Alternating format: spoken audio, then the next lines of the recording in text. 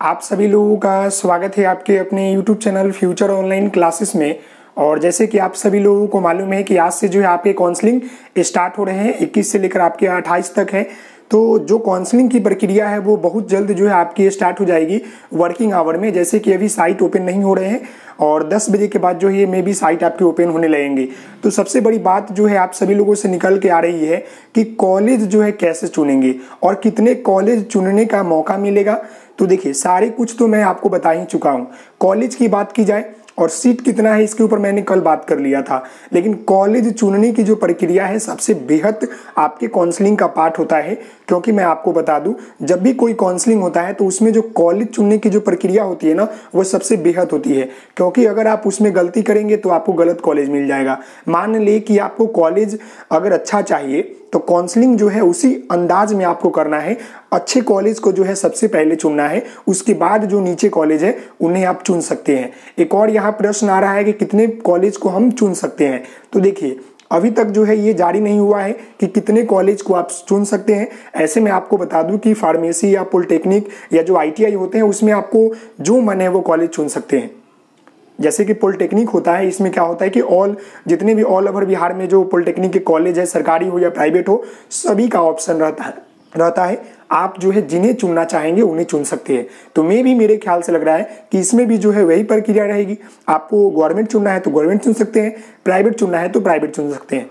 लेकिन एक बात जो है आप सभी लोगों से निकल के आ रही है कि क्या केवल हम गवर्नमेंट कॉलेज ही चुनेंगे? ये पहला सवाल। दूसरा कि मेरा रैंक ठीक नहीं है तो क्या मैं गवर्नमेंट कॉलेज नहीं चुनूं? दूसरा सवाल।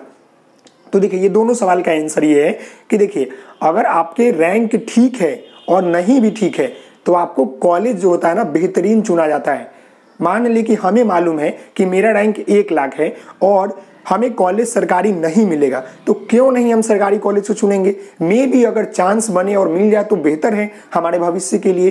तो देखिए, जिनका भी रैंक बेहतर हो, जिनका रैंक बेहतर नहीं हो, और अगर वो काउंसलिंग करते हैं मतलब काउंसलिंग में तो आपके पैसे लग रहे हैं। एस सी वाले के लिए तीन सौ पचास रुपए पीडी वाले स्टूडेंट के लिए। और जो जनरल है, जो ईवीसी e है या बीसी है या ईडब्ल्यूएस e है, उनका पाँच सौ लग रहे हैं। तो जब आप पैसे दे रहे हैं तो आप काउंसलिंग करने के समय कॉलेज चुनने में क्यों हटेंगे पीछे? आपको मैं बता दूँ कि आपको कॉलेज चुनना है तो सबसे पहले आप बेहतर कॉलेज को चुनेंगे। उसके बाद अगर लग भी रहा है कि नहीं होने वाला है बेहतर कॉलेज में, तब जो है आप आकर नीचे वाले कॉलेज को चुनेंगे। मेरी बात आपको समझ में आ रही है? और कॉलेज चुनने की जो प्रक्रिया है, वह बेहतर होना चाहिए। और आप, अब हम बात कर ले, कुछ बच्चे बोलते हैं कि, क्या सर, केवल हम पाँच कॉलेज चुन लेंगे तो मेरा हो जाएगा? ऐसी गलती नहीं करना है आपको। अगर आपको कॉलेज चुनने की जो प्रक्रिया में अगर 10 20 दे रहे हैं ऑप्शन तो 20 कॉलेज चुनना है। समझ गए? कोई भी खाली नहीं छोड़ना है। जो बच्चे बोल रहे हैं कि, केवल हम पाँच कॉलेज चुन लेते हैं, मेरा इसी में हो जाएगा तो क्या ये सही सही है? नहीं है। तो मेरी बातों को समझिएगा।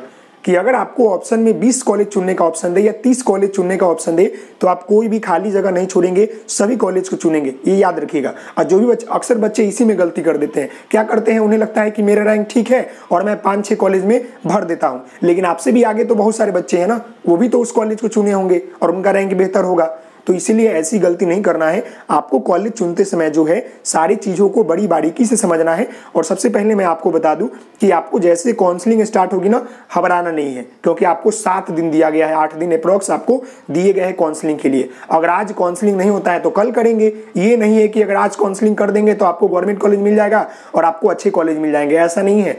काउंसलिंग बेहतर होगा तो ही आपको कॉलेज बेहतर मिलेंगे। अक्सर बच्चे क्या करते हैं, उनका रैंक बेहतर होता है, लेकिन कॉलेज चुनने में वह कहीं गलती कर देते हैं। तो उनका क्या होता है कि दूसरा कॉलेज आवंटित हो जाता है। अच्छे कॉलेज उनसे निकल जाते हैं।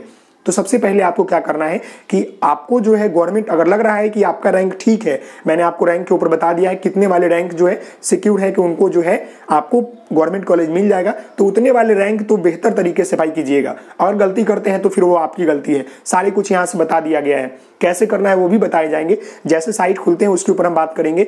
लेकिन आपको जो कॉलेज चुनने की जो प्रक्रिया है ना, सबसे बेहतर आपको। सबसे पहले तो आप, अगर लगता है कि हम इस ज़िले से हैं, अगर हम सारण ज़िले से हैं या छपरा ज़िले से हैं या वैशाली ज़िले से हैं तो हम वैशाली ज़िले से हैं। तो भाई, हम वैशाली के दो कॉलेज हैं तो उस कॉलेज में हम पहले नाम देंगे। क्योंकि सभी लोग चाहते हैं कि मेरा कॉलेज नज़दीक हो, ताकि मुझे जाने में सहूलियत हो।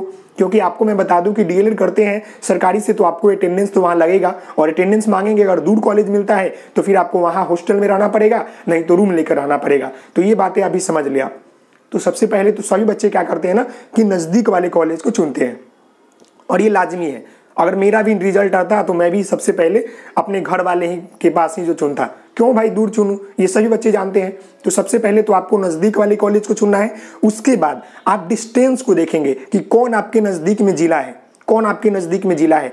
उस जिला को मैं आपको बता दूँ, मैंने कॉलेज लिस्ट का पीडीएफ दे दिया है और आपको इसके ऊपर वीडियो भी मैंने बनाया है। नहीं है तो आप डाउनलोड भी कर सकते हैं ऑनलाइन उस पीडीएफ को डाउनलोड कर ले और अभी अभी खाली समय बैठा है ना तो उस समय में क्या करें कि अपने आसपास के जो है, कम से कम 20 कॉलेज का जो है नाम चयन कर ले। क्योंकि आपको काउंसलिंग करते समय नहीं दिक्कत हो। और मैं आपको बता दूँ कि पीडीएफ में जो है आपको काउंसलिंग करते समय, वहाँ पर आपका कॉलेज का तो नाम आएगा, लेकिन जो पीडीएफ पहले से रिलीज़ हुई है, जो बिहार सरकार ने रिलीज़ किया है, उसमें जो है कॉलेज का नाम सरकारी है कि अर्ध सरकारी है, वो सारी जानकारी दी गई है। साथ ही साथ कितने सीट है, वो भी जानकारी दी गई है। और उसमें उसका कोड क्या है कॉलेज कोड क्या है, उसके ऊपर भी बात कही गई है। तो ये सारी जानकारी जो है आप एक बार देख ले। और सबसे पहले मैं आप सभी लोगों को यही कहूँगा कि आप लोग बीस कॉलेज का नाम लिख ले भाई। क्योंकि ये दिक्कत होती है बहुत सारे बच्चों को। क्योंकि जब काउंसलिंग स्टार्ट होगा तो भाई पूछेंगे आपके जो भाई अगर भरते हैं तो ठीक है, नहीं तो अब अगर जाते हैं साइबर कैप में तो वहाँ पूछेंगे कि कौन सा कॉलेज डाल दूँ तो वहाँ पर आपको दिक्कत होगी। फिर बार बार कॉल कमेंट करेंगे कॉल करेंगे मैसेज करेंगे टेलीग्राम इंस्टाग्राम फेसबुक सब जगह भर देंगे कि, सर, बताइए सर, बताइए। तो मैं अकेला हूँ, आप सभी लोग भी बुरा मान जाते हैं, मैं मानता हूँ कि आप सभी लोग बुरा मानने की लाजमी है, आप सही है। लेकिन मेरी भी थोड़ी प्रॉब्लम आप समझ सकते हैं। मैं अकेला बंदा, आप सभी लोगों को कितना जवाब दूँ? लेकिन मैं अपनी तरफ़ से हंड्रेड परसेंट देता हूँ और हमेशा देता रहूँगा। कुछ बच्चे का कमेंट नहीं पढ़ पाता हूँ, नहीं दे पाता हूँ, जब आप उनसे माफ़ी माँगता हूँ, बुरा नहीं मानिएगा, भाई, आप हैं तो हम हैं, ये मालूम है ना मुझे? आप हैं तो हम हैं, आप जब तक रहेंगे तब तक हम रहेंगे।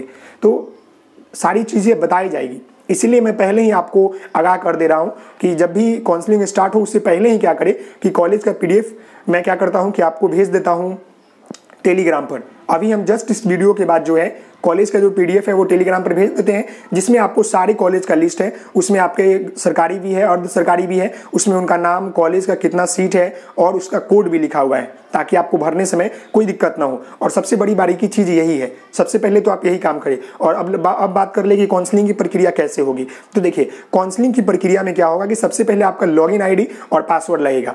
और लॉगिन आईडी के लिए मैंने आपको बता दिया है कि आपका रोल नंबर लगेगा, क्योंकि ये बोर्ड के साइट पर लिखा हुआ है। पूरी तरह से आप जाकर देख सकते हैं। और नीचे आपका पासवर्ड लगेगा। ये करने के बाद जो है आपका साइट ओपन होगा, जहाँ पर आपके एक तरफ़ साइड में यहाँ पर दिखेगा आपका नेम यहाँ पर रोल नंबर आपको दिखेगा डेट ऑफ़ बर्थ दिखेगा, और मे बी आपके रैंक और आपके मार्क्स शो करेंगे। उसके बाद आपको नीचे जो है, कुछ दिखेंगे कॉलेज के नाम।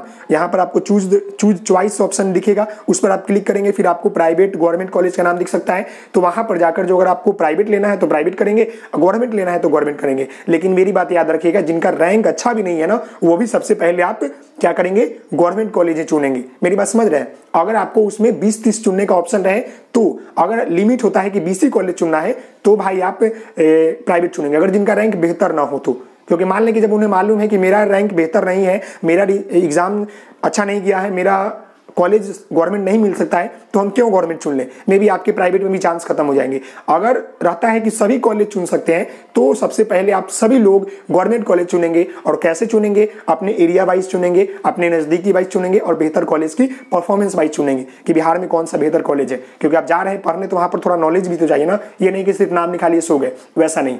तो ये बात है। अगर रहा कि केवल बीस कॉलेज चुनना है तो अपने अनुसार से, लगता है रैंक के अनुसार से आप चुन सकते हैं। कुछ गवर्नमेंट, कुछ प्राइवेट की हो जाए।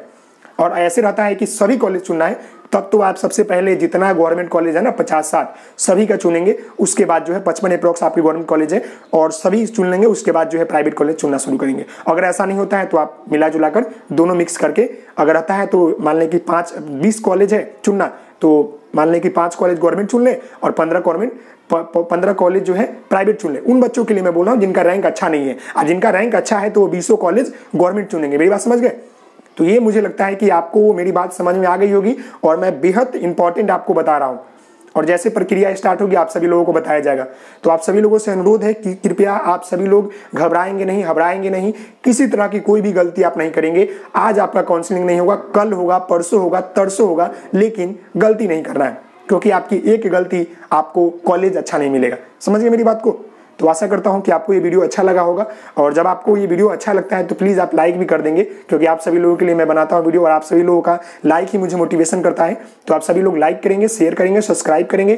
थैंक यू सो मच जय हिंद, जय भारत। तो मिलते हैं नेक्स्ट वीडियो में। तब तक के लिए धन्यवाद। Thank you so much